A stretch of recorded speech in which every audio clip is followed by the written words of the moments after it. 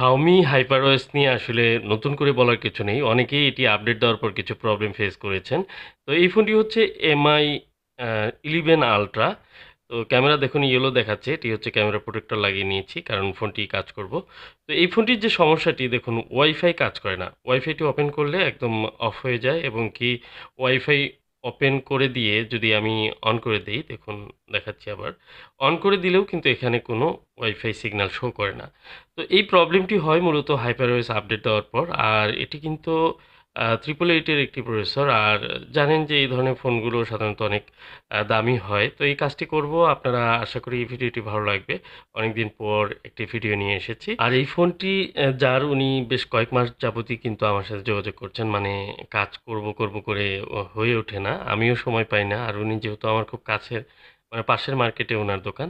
তো উনি আসেন এবং ১ম HyperOS আপডেট দেওয়ার পর যখন ওনার ওয়াইফাইটি প্রবলেম করে, মাঝে, মাঝে ওয়াইফাই চলতো। কিন্তু ম্যাক্সিমাম সময়ই দেখা যায় যে ওয়াইফাইটি অন হচ্ছে না। এবং এখন বর্তমানে আরও একটি প্রবলেম যোগ হয়েছে সেটি হচ্ছে সাউন্ড প্রবলেম। মানে এই ফোনটিতে সাউন্ড কেটে, কেটে যায়, সাউন্ড আসে, আসে না এরকম যে কোনো ভিডিও প্লে করলে এই সমস্যাটি হয়। আর এই সব সমস্যাই কিন্তু আসলে মূলত প্রসেসর থেকেই হচ্ছে। প্রসেসরটি আপডেট দেওয়ার পর অনেক সময় হিট হয়ে এই প্রবলেমটি হয়। আর রিসেন্টলি এ ধরনের সাউন্ড কেটে, কেটে যাওয়ার আরও কাজ করেছি। তো আসলে ভিডিও শেয়ার করা হয়নি। চেষ্টা করব দু একটি ভিডিও শেয়ার করার। স্যামসাংয়ের একটি ফোনে এ ধরনের সাউন্ড প্রবলেম যেটি ইউটিউবে বা কোনো কিছুতে ভিডিও প্লে করলে দেখা যায় ভিডিও ঠিকই আছে কিন্তু সাউন্ডটি কেটে যাচ্ছে। মানে কেটে যাওয়া বলতে যে সাউন্ডটি মাঝখানে অফ হয়ে যাচ্ছে, আবার প্লে হচ্ছে। এরকম হচ্ছে এবং কি অনেক সময় সিডি যেরকম আটকে যায়, সেরকম হচ্ছে। তো এই যে প্রবলেমগুলো এগুলো সলভ করার জন্য আমাদেরকে অ্যাকচুয়ালি একটু চিন্তাভাবনা করে ডায়াগনোসিস করে, তারপরে কিন্তু কাজ করতে হয়। তো আজকের এই প্রবলেমটি আজকের যে ফোনটি রয়েছে, এই ফোনটির আমরা ওয়াইফাই প্রবলেমটি সলভ করব এবং সাউন্ডের যে ইস্যুটি রয়েছে, সেটিও সলভ করব। আর এই কাজটি করার জন্য এই ফোনটিতে কিন্তু অনেক ঝুঁকি থাকে।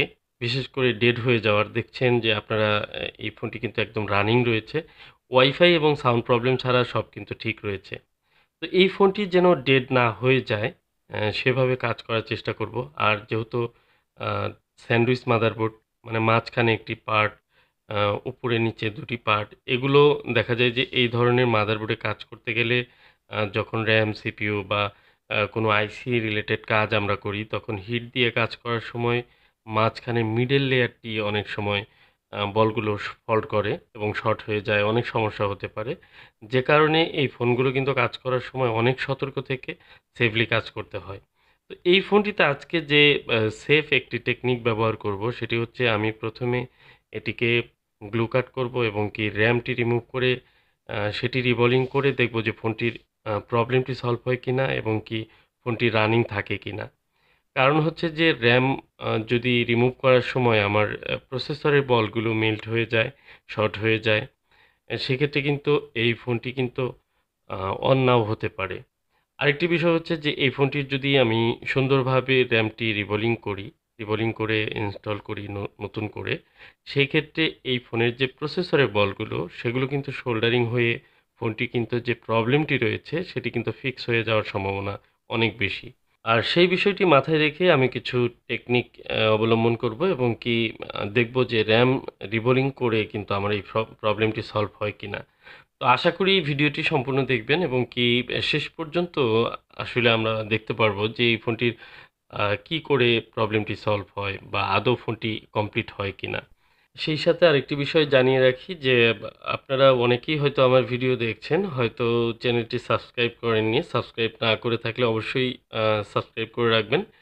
আর সাথে বেল আইকনটি প্রেস করে রাখতে পারেন যেন আমি নতুন কোনো ভিডিও আপলোড করলে আপনি নোটিফিকেশন পেয়ে যান। তো প্রথমত আমরা যখন একটি র‍্যাম রিমুভ করব দেখুন এই র‍্যামটি কিন্তু আমরা একটু আরও বেশি হিট দিয়ে কিন্তু ওয়েট করে রিমুভ করতে পারি। কিন্তু আমি চেষ্টা করব যে ফুল যেন মেল্ট না হয়ে যায়। খুব দ্রুত আর কি র‍্যামটি রিমুভ করার। দেখুন আলহামদুলিল্লাহ সুন্দরভাবে কিন্তু র‍্যামটি রিমুভ হয়েছে।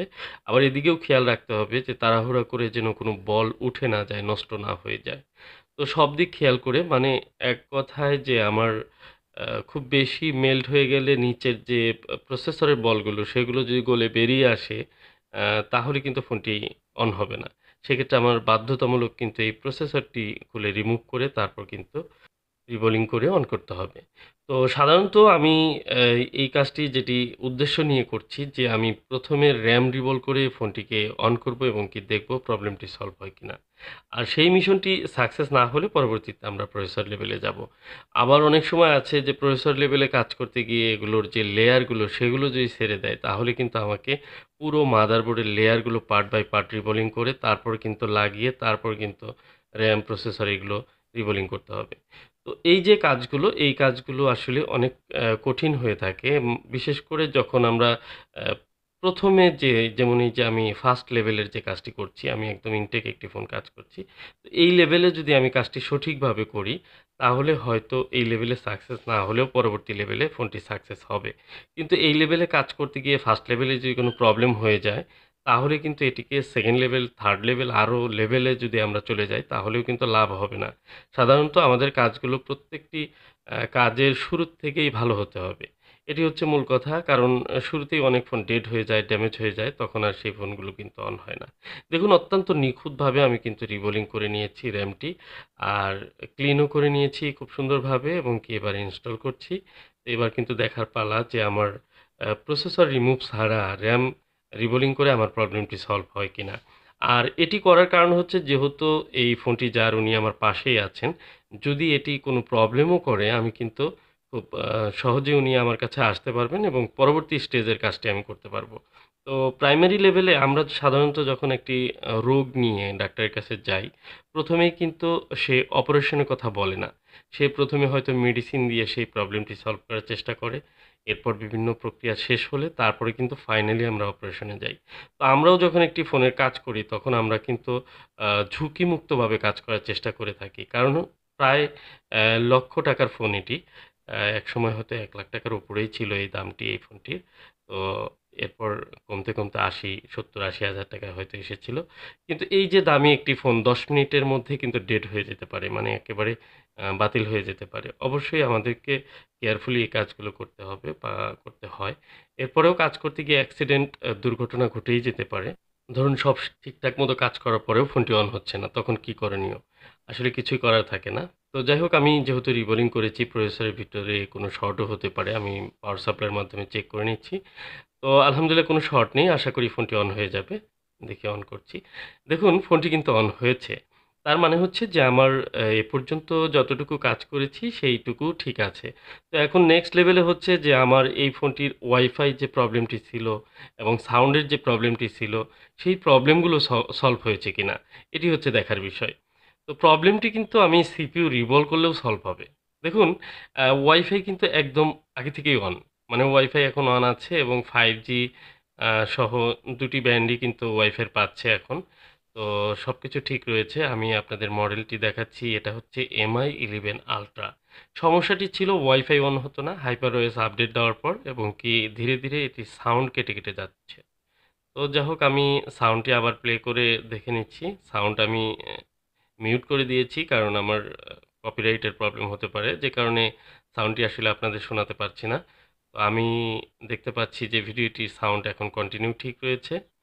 তো এ ধরনের প্রবলেম যাদের হবে তারা তো অবশ্যই বুঝতে পারবেন যে সমস্যাগুলো কীরকমভাবে শুরু হয় এবং কি সমস্যাটি কীভাবে স্টেপ বাই স্টেপ আস্তে, আস্তে বাড়তে থাকে। তো এ ধরনের প্রবলেম হলে অবশ্যই সেটি সলভ করা যাবে।